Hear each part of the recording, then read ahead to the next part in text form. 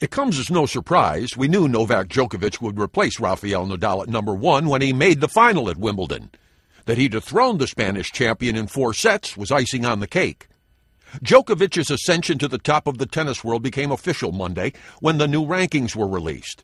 The 24 year old Serb had been number two since March, but he surged past Nadal by going 48 1 with eight titles so far in 2011, including Grand Slam trophies at the Australian Open and the All England Club. Serena Williams dropped to 175th on the WTA list, her lowest spot since 1997.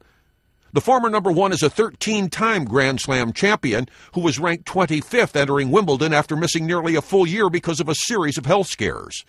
As the defending champion, Williams had a lot of ranking points to defend, so her loss to Marion Bartoli in the fourth round led to the 150 place slide Monday.